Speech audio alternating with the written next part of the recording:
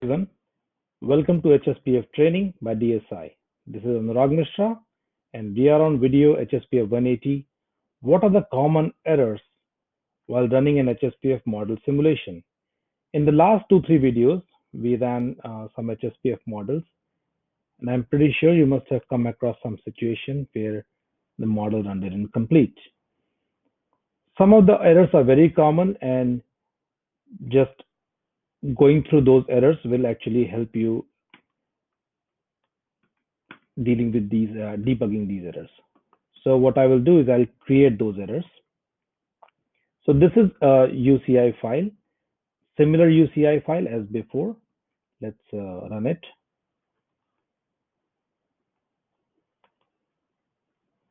Okay, so it's giving me a weird error now.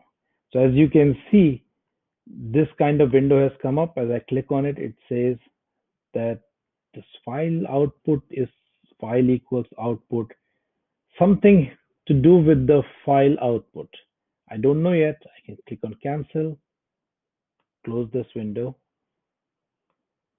This kind of output generally refers to when it wants to find a file or a folder that it cannot find. So I have set up so that the dot out file and dot hbn file are supposed to go in a folder called output. And as I see here, there is no folder called output. Let's create a folder called output. That's it. Okay. And let's run it again. Okay, thankfully that error is gone, but we still see another error. Return code 2. Click on OK and we can cancel it. So the best way is to look at the echo file and just find eh, with the uh, search of the word error. Okay, it said that this WDM dataset name SURO does not match attribute type ISUR. Okay, that's different. Oh, so here we want to output it SURO. We want to call it SURO. But in the previous exercise, what we did was that we named it ISURO. And so HSPF is saying that it wants to write this data set in the WDM file, but this TS type does not match. So I just, uh, you can look in the WDM file. Well, let's look at the WDM file and just make it sure. HSPF underscore test WDM, select time series, um, attributes, add ID and TS type was the one that it was complaining about. So let's add another attribute, add TS type. Okay, TS type is ISUR. It, it took only four characters. We gave ISUR, it took only ISUR. So it wants it to look like ISUR. Okay. So let's call it ISUR or ISUR, doesn't matter. Uh, so want to make sure that it's aligned. M aligns with R, G aligns with R, G aligns with L here. So now we fix this error. Let's see if there's any other error.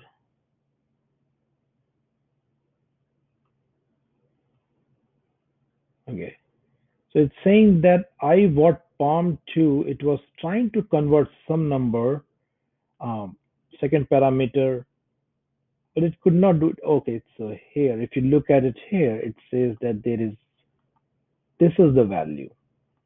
See, the second character is a tab. HSPF does not know what to do with tab.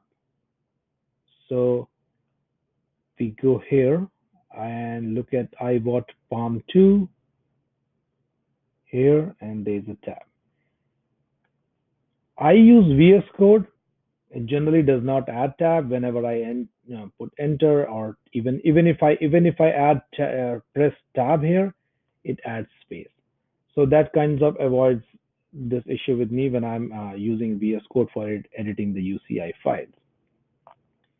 Okay, so we fixed these two errors. And this has to do with the uh, same line of error because because of tab, it could not read the next value as well. HSPF tries to find out all the possible errors before it quits. So you should be able to look at uh, all the errors, but it is possible that you'll fix two, three errors, and then it will find some new errors in the next run. So let's run it. Okay, the run finished and the echo file has been updated. Let's go to the end, end of job. That means the model run started and finished. So these are some of the errors that we commonly see. Location of file, issue with the input or output data set, and the presence of tab or the alignment issues.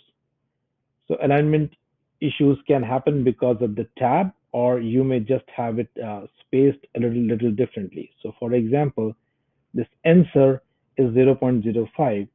If I put a space, what HSPF will do is HSPF will read the NSUR value as this value. It will think that the Manning's n is 0.0 and it will think that the retention storage is this value, 5 multiple space then 0.1. So it may get confused and so we can check that again.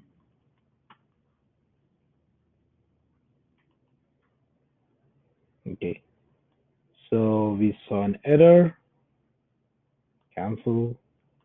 Echo file let's look at error.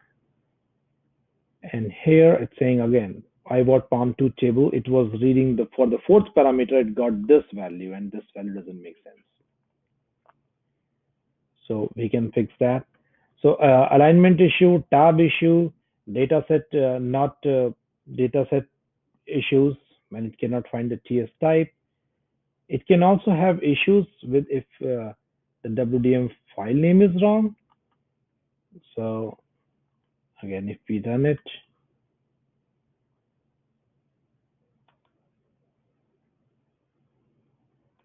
so if we look at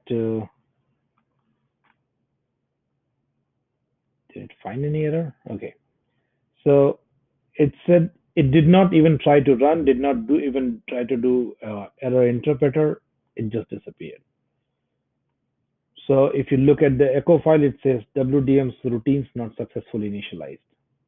And it does not give you any detail. But basically what happened is that it was trying to find this WDM file. It did not find it because the, the name was different. So these are some of the errors that uh, you will usually find when you are uh, running an HSPF model.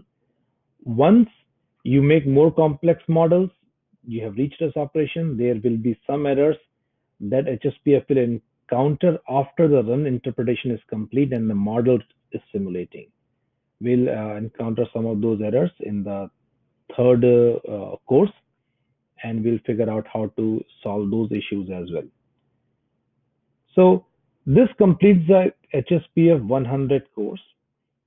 In this course, we learned about how to view time series data, how to download time series data, how to edit time series data, how to import time series data in a text format, what is the structure of a simple UCI file, how to get output from a UCI file in, in text and binary format, and WDM format, and how to resolve some of the common issues.